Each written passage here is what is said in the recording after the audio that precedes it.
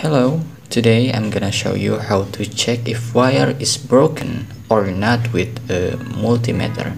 You can use digital multimeter or analog multimeter. It's the same, not different totally. Alright, this here I have a wire, two, exactly two. Now I'm gonna test or check this wire resistance with a multimeter. The first one you need to change selector direction to continuity. Right continuity like this. Alright.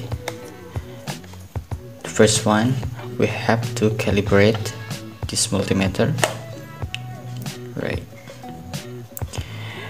if multimeter show like this, it's mean connect. It's mean have a resistance. Right, let's go to test a wire.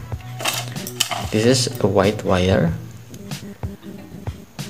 For checking this wire, you put the red probe to one side, the first side, and the black probe to other side like this. Right.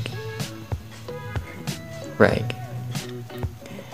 If multimeter show like this it's mean this wire is connected not broken.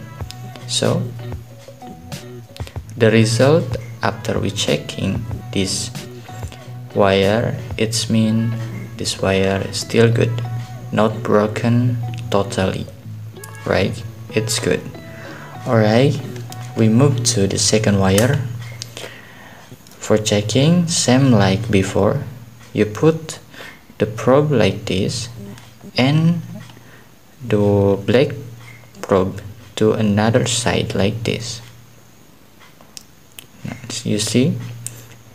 This multimeter still show like this. It's mean this cable it's connected not broken and this wire exactly to wire still have resistance and still can using. That's it. How to check if wire is broken or not with a digital multimeter or analog multimeter. If you using analog multimeter it's good.